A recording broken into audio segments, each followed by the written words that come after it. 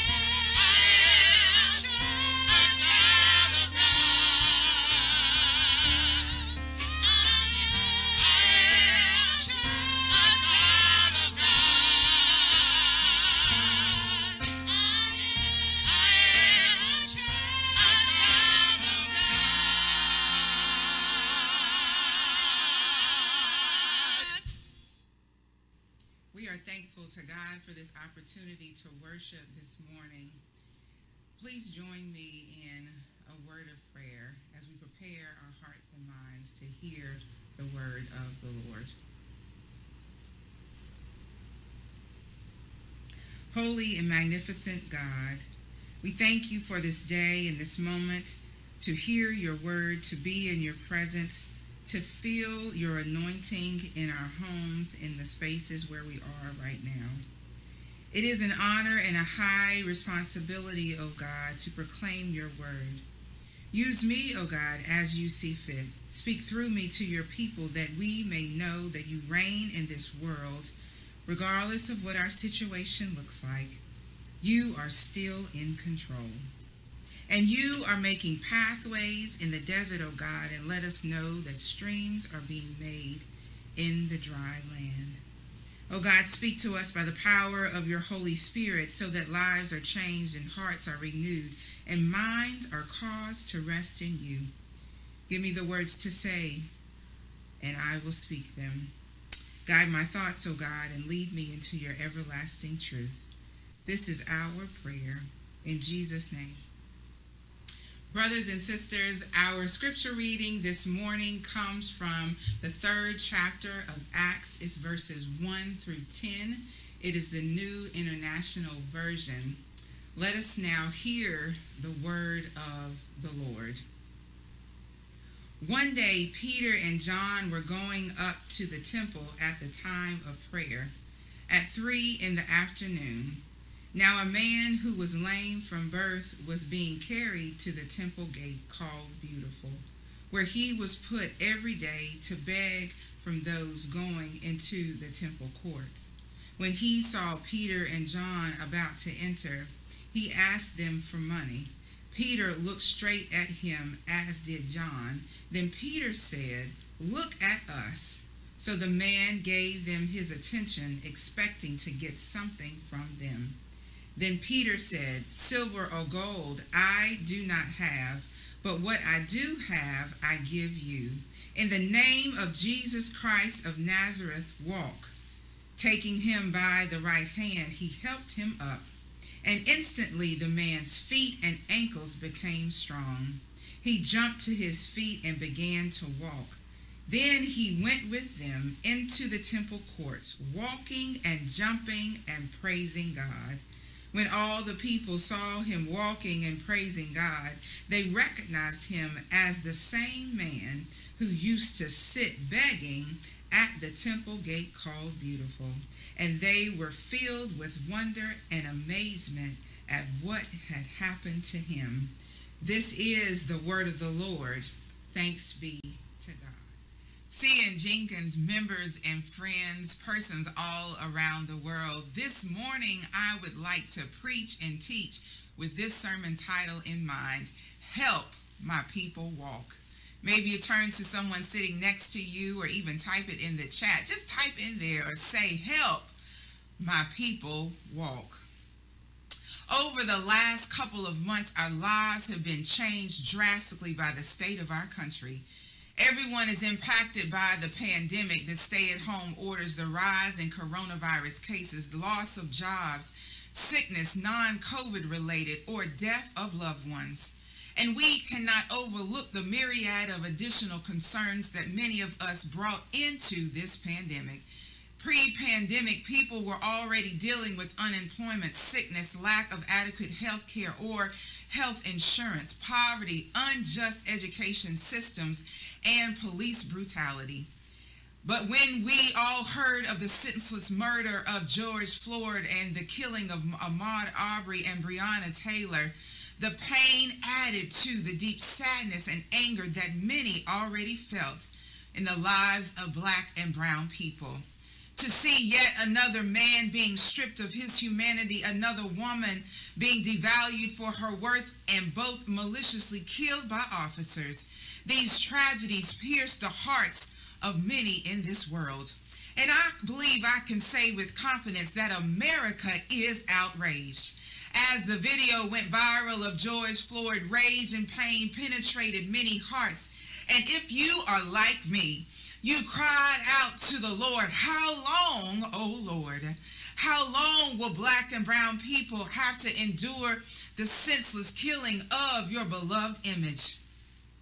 How long, O oh Lord, will black and brown people be seen as animals instead of your beloved children? How long, O oh Lord, will black and brown people live in a country where we fear for our lives wherever we go? How long, O oh Lord, will we have to endure the knee of racism and oppression in America? Oh, we cry out, how long, O Lord? And this is the cry that fuels the Black Lives Matter movement and revolution to fight for reform of oppressive systems that literally strangle black and brown lives.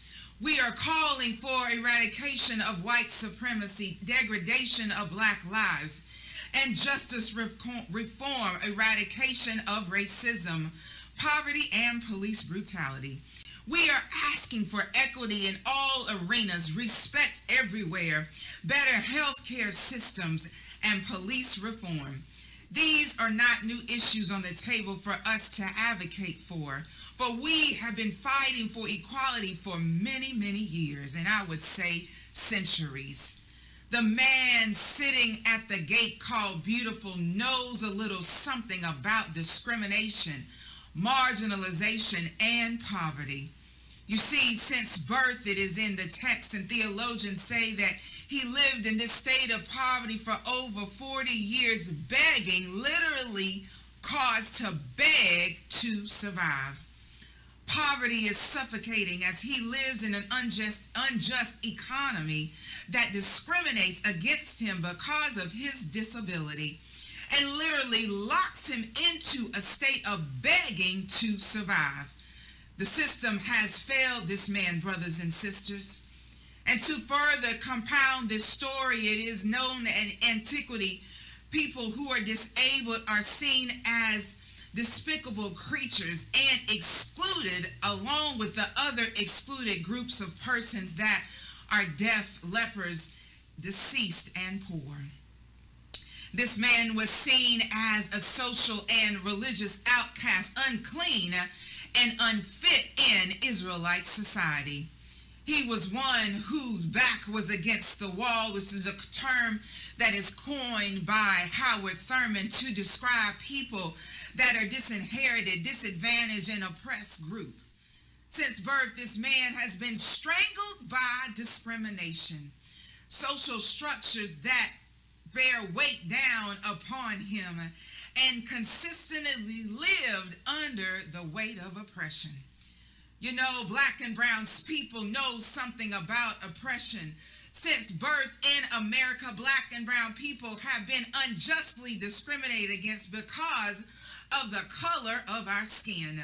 And maybe it's because of the size of our hips or our lips or our thighs or the fact that God made us beautiful black women and strong and fierce black men.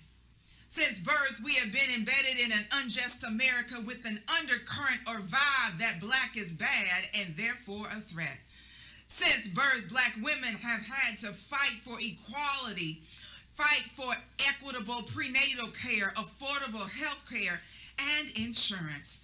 Since birth, we have disproportionately felt the wealth gap for black people and experienced higher rates of poverty and those effects that come from poverty. Since birth, living in poverty leaves black men and women amenable to an array of health risks and injustices overall. And since birth, we have fought for equality, for an education for our black children. And then there is the prison pipeline that is huge disparity and that is plaguing the black community. The Children's Defense Fund founder and president Marian Wright Edelman says in her article entitled The Cradle to Prison Pipeline America's New Apartheid. She says black children are more than three times as likely as white children to be poor and are four times as likely to live in extreme poverty. A poor black boy born in 2001 has a one in three chance of going to prison in his lifetime and is almost six times as likely as a white boy to be incarcerated for a drug offense. And then in an article by the CDC, the cradle to prison pipeline is compared to or is called a pandemic affecting black children. These are the injustices black people face. The man sitting at the gate called Beautiful easily could have been named Rayshard Brooks, George Floyd, Ahmaud Arbery, Elijah McClain, and Trayvon Martin. And say the names of the many men and women who find themselves considered an outcast, stripped of their humanity, impoverished, and seeking equity while living under the weight of a system that has failed them uh, and left them begging to survive. Brothers and sisters, many times I see people on the streets of Charlotte.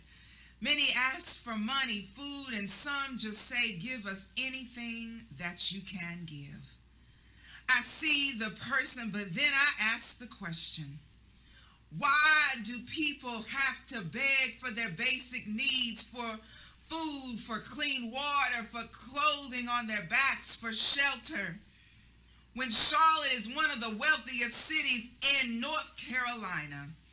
I believe the Matthew Fint 25 initiative tells us whatever we do for the least of these, uh, we done unto God.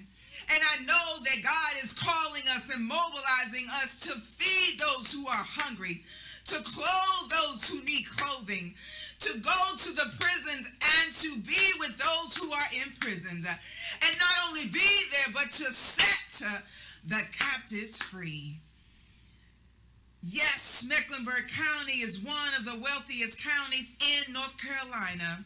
And the disparities are great because Charlotte is one of the 50 largest cities in North Carolina. But our poverty rate is 11.7%. And homelessness has increased, and we continue to strive forward, but we need to build more affordable housing. And we have much work to do because we are ranked lowest out of the 50 largest cities uh, in the Harvard study with upward mobility. So if you come into Charlotte and you're living in poverty, then you will remain in poverty. And I believe that God is calling us to make a change to that statistic. These inequities shine a light to a fractured system that is in need for repair. We must ask, ask ourselves by getting acquainted with the men and the women in the mirror as we look at the mirror ourselves. What have we done to perpetuate, to be complicit in? Or what have we done to work for changing the culture and systems that are strangling marginalized groups?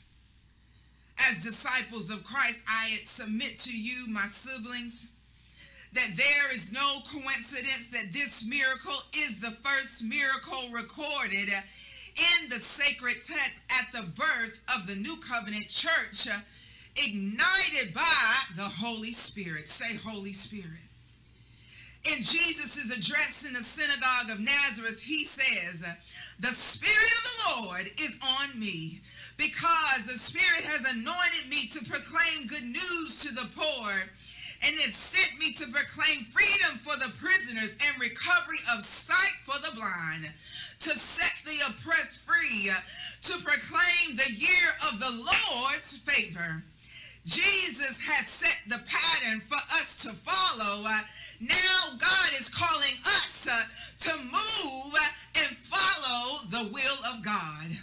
This miracle shows the apostles' will to follow Jesus by being obedient to do what Jesus had commanded, following the pattern of Jesus. Uh, and then we realize that greater works uh, they shall do uh, in Jesus' name. And I believe, children of God, this scripture gives us our marching orders to go and do likewise. Uh, the cornerstone of the Christian church and movement of liberation began with Jesus, uh, and it continues uh, through everybody who follows and is an ambassador of Christ.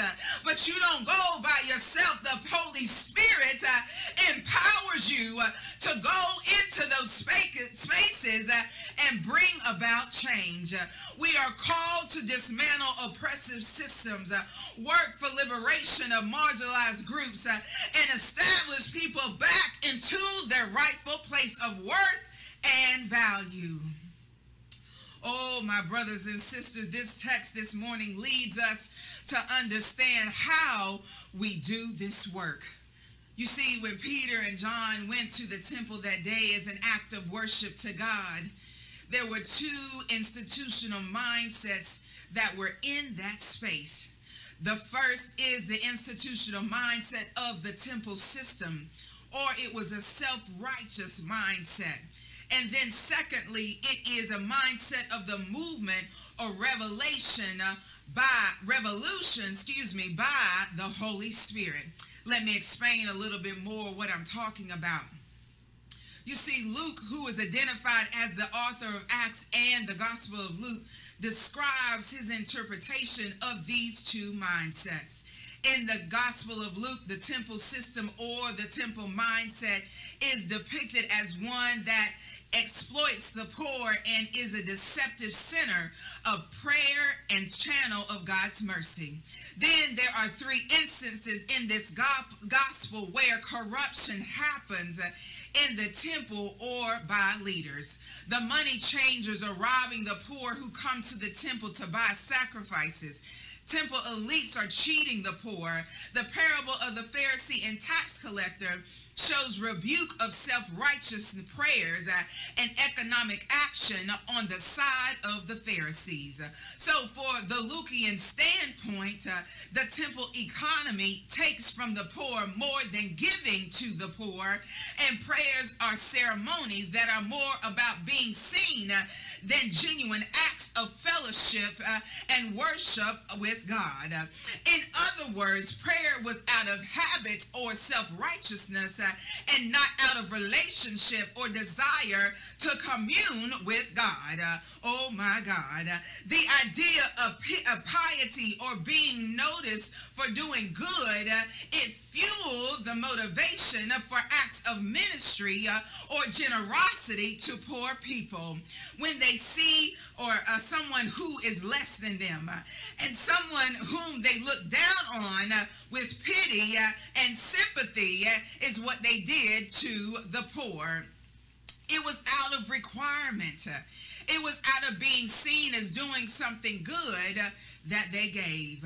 But then in contrast, the movement or revolution of Jesus prompted followers of Christ uh, to go to the temple three times a day uh, as a pure act of worship uh, with no preconceived need to go for a show, for entertainment, or to fulfill a requirement. There was nothing to prove. All they wanted to do is to go and be in the presence of an almighty God. and I just wonder if there is anyone out there today that you you can say, uh, I couldn't wait to gather virtually in my home or in my car or wherever you are this morning uh, just to be with my brothers and sisters uh, and to give praise and glory to an almighty God that brought me into another day, that kept me from danger seen and unseen, a God that allowed me to have food on my table and clothes on my back, and a God that opened doors that no person can shut. They press their way, they press their way to get into a place of worship.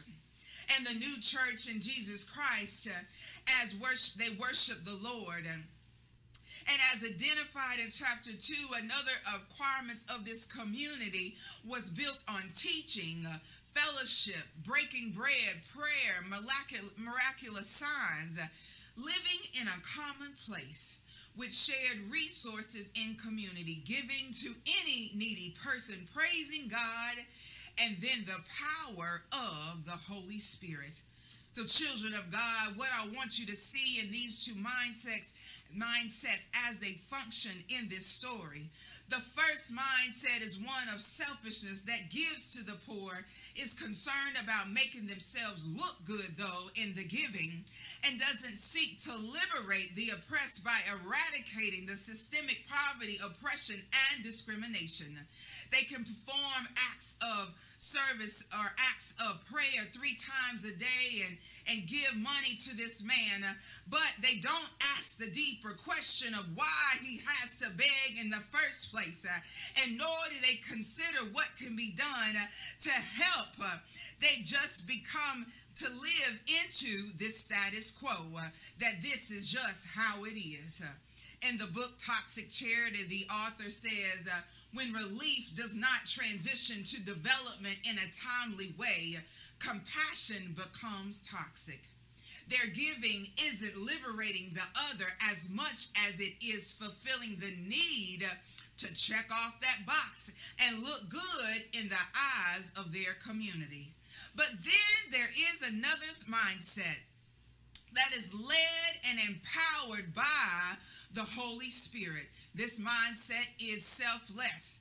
Peter and John seek to see the man at the gate, the poor, the disenfranchised, the disinherited, and oppressed.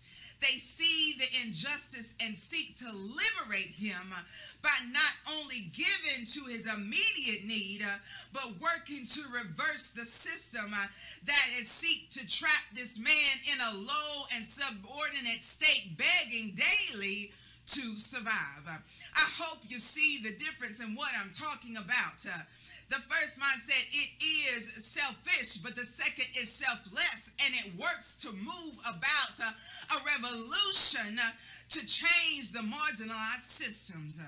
The first is easier mindset is navigated through and and you know it's it's it's convenient. But the other is is not convenient. You must deny yourself, take up your agenda, see the person, hear their story, learn the system, navigate change in the system, and fight for what is needed to restore and set people free. The man was sitting in a low place for 40 years because the system failed him. And we know that the systems are people. People make up the systems. Disciples of Christ, black and brown and white, we are called to see the oppression happening in our cities, neighborhoods, schools, jobs, churches, and around the world. We are called to mobilize and work to set the captives free by the power of the Holy Spirit. And the gift of his work is that God chooses to work through humanity. I want to say that again because I really wanted to sink into your spirit. God chooses to use you. God chooses to use you to start a revolution so that other people can be seen and valued as beloved children of God, of all colors, of all races, of all sexual orientations, of all shapes and sizes.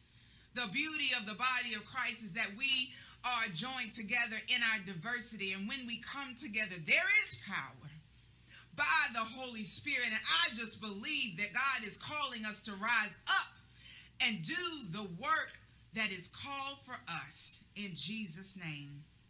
God chooses to work through his beloved image to bring about liberation of the captives and dismantling of these systems. God's will is for this to manifest in our world.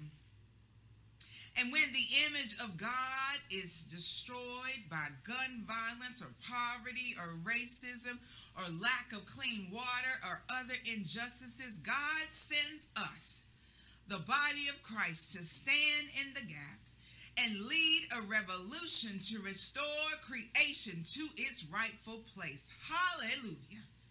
So, yes, the day Peter and John were sent, they were walking to the temple that day as an act of worship centered on prayer of Yahweh. But their worship that afternoon turned into liberation of a marginalized man. And in their encounter, Peter didn't only stop and see the man and determine his needs, Peter also repositioned his focus. So today you are in worship, but I promise you, and tomorrow or the next day, or maybe later on today, God may call you to see and see an injustice and reposition the focus of the person as they look up to someone who is willing to help them. Peter says to this man that is sitting in a low place, he says, Look at us. And I just think that the head of the man was no longer looking down in a shameful way, but when he looked up into the eyes of a person that actually cared and didn't walk by him in pity, this lifting of the head uh, opened up this man's heart to receive the blessing of the Lord uh, that was on the way. The lifting of the man's head wasn't enough in itself, but what Peter said and did next forever changed the man's life. I tell y'all, brothers and sisters, this was my shouting point, and this is my next point is Peter called on Jesus. Peter said, Silver and gold I don't have, but what I do have, I give to you. In the name of Jesus Christ of Nazareth, walk. Oh, I think you missed your shouting point. Have you ever been in a low place and didn't know how you were going to make it out? Your back was against the wall and all odds seemed to be not in your favor. But when you called on the name of Jesus, hallelujah, you called on Jesus and your life was forever changed. I think we need to take a few minutes right here just to give God some praise uh, for coming through for us right on time. Uh, you called on the name of Jesus and God gave you peace in your mind. You called on the name of Jesus and he healed your body. You called on the name of Jesus as you advocated for your child uh, and God uh, made a way. Can we just give God some praise for coming through right on time? Jesus is a way maker, a heavy load carrier Jesus will show up when you're least expect it and cover you from danger seen and unseen. And if you know that calling on the name of Jesus will change your life, uh, your situation, and your destiny, uh, God will always show up right on time. Peter called on Jesus. As I open up the fullness of this radical proclamation, I promise you that this will make you to keep on shouting. Because you see, Peter doesn't have silver and gold because he has sold all of his property and possessions to give to the needy as a responsibility as a member of the body of Christ. And so in that instance, Peter doesn't have any money on him and hear me clearly, money wasn't all the man needed to fix this problem anyway. What he needed was a miracle. And how many of you know that the power of our Almighty God is able to provide every miracle? God, the Holy Spirit, came through and healed and restored and liberated. And the Holy Spirit will break some chains and give you peace uh, and keep you uh, in perfect peace. Peter called on the name of Jesus. Uh, and in that moment, the power of the Holy Spirit given to Peter at Pentecost uh, was the source uh, of the man's healing and liberation. You may be asking, what do you mean, preacher? Peter called upon the name of Jesus, the name that above that is above all names. Peter called forth the power that raised Jesus from the dead, the Holy Spirit, and called forth the authority in the name of the one uh, who made the lame walk and the blind see. Uh, in the name of Jesus Christ of Nazareth, walk. Uh, and maybe you will understand it this way. Peter declares healing uh, in the name of the poor Jewish man uh, who was born in a stable, looked down upon because he was from Nazareth. Uh, you know Jesus, the one who was threatened and a subject of Roman power.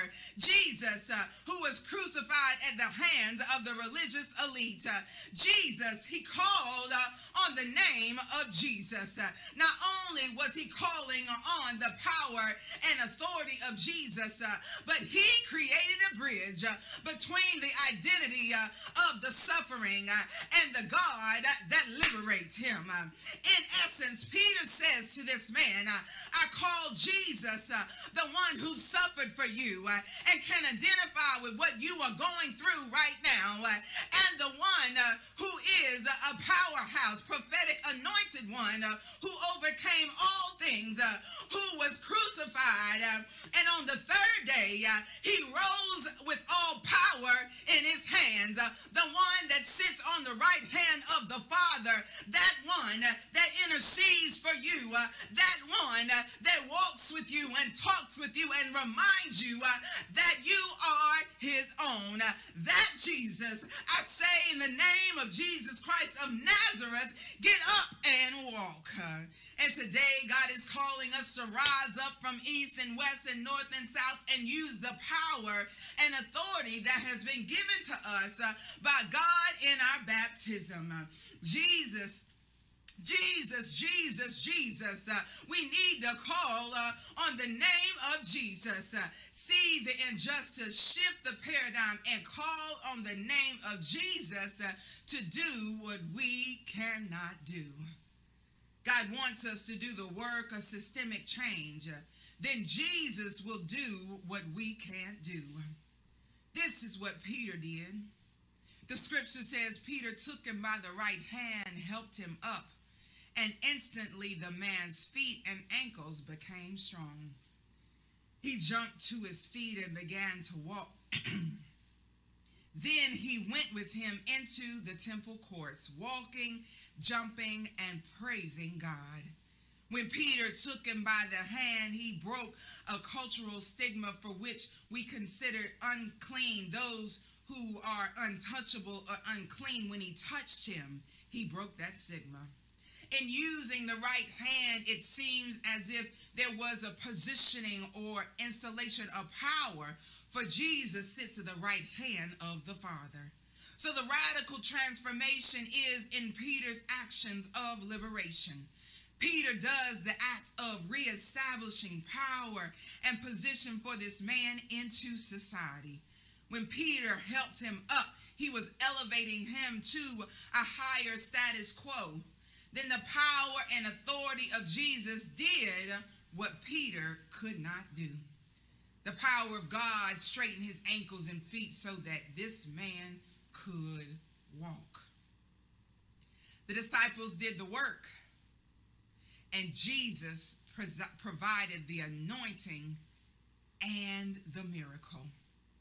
Help my people walk is the title because I believe God is calling forth disciples that will do what Peter and John did on this day and help those who are bound by a toxic system in America or around the world. Help them to walk. God is calling us to help the 140 million poor people in our country. Help them walk. Help the children who are below grade level in reading in Mecklenburg County and around the world. Help them walk. Help those who don't have make a living wage to make enough money to care for their families. Help them walk.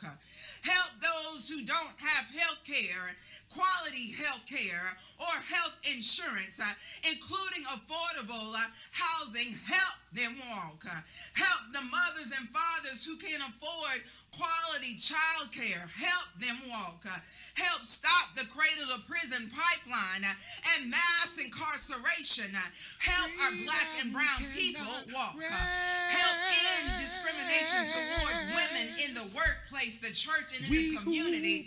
Help us walk. Help stop police brutality for black and brown people. Help us walk. Uh, help provide affordable housing for everyone. Uh, help us walk. Oh, my siblings in Christ, God is calling us to work for justice, to walk humbly in this world. For the Spirit of the Lord is upon you. And it upon We me who believe and is in calling freedom us forth to continue the work of Jesus, the work that Jesus has begun We who by sharing the good believe news in with the freedom poor, declaring freedom for rest prisoners, recovery of sight for the blind, and to set We the who captive free. believe in freedom God chooses cannot rest. We God who chooses believe in freedom you. cannot So I hear the rest Lord saying, until "Help He comes. So may We be who done through you believe in freedom cannot power rest. know that if you subscribe to our page, you will be informed of all of the ongoings of this congregation at C.N. Jenkins. C.N. Jenkins is a great place to worship, but also to be a part to grow your faith. So if you're desirous of a church home, we invite you to call us, email us, let us know that you want to grow in the Lord. We also invite you to join us each and every Monday through Friday at 7 a.m. for our prayer call and devotion. We're so glad to connect with people around the world during this time of prayer. Bible study has been suspended. We finished for this year, so we'll start up again the second Wednesday after Labor Day. So you'll hear more about that. But our Tuesday night prayer, also our uh, young adult service, excuse me, our youth service that follows this service and our children's service can be found on the web page. We love you, congregation. We love you, world.